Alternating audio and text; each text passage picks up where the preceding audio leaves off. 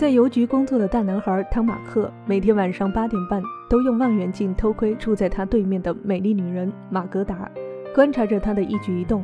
连房东太太叫他看波兰小姐选拔赛都不为所动，他只想一直注视着心爱的玛格达。有次，他实在无法忍受相思之苦，偷偷在玛格达的邮箱里塞了寄钱通知单，让玛格达来邮局取钱。伪造的账单当然无钱可取。马格达气冲冲地离开了。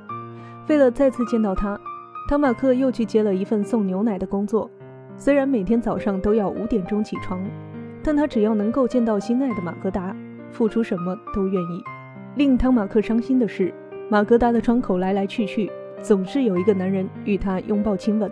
在又一次那个男人来到马格达家里时，他无法忍受心中的醋意，谎报了火警电话，打扰了两人的好事。一次为马格达送牛奶时，他再次留下了一封通知单。来到邮局的马格达被工作人员怀疑是诈骗犯，并奚落了他一顿。他恼羞成怒地离开了邮局。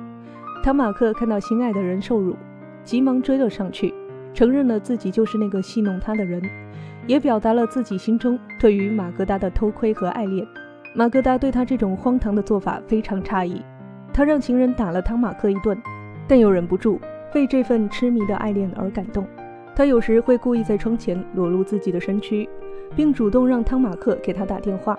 就这样过了一段时间，他把汤马克带回了自己的家，并诱惑了他。未经人事的汤马克在他温柔的抚摸下，很快便身子一激灵，达到了美妙的高潮。随之而来的是马格达诧异的眼神。汤马克为自己的无能而羞愧地离开了。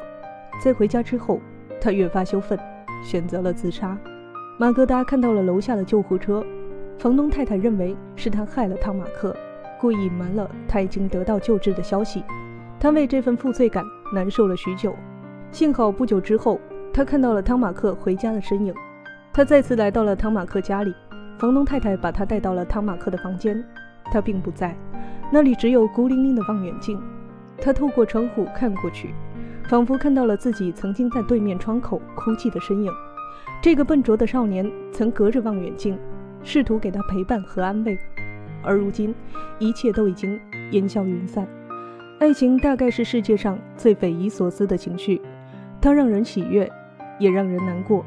那种小心翼翼、患得患失，除了爱情，再也不会有什么如此美妙。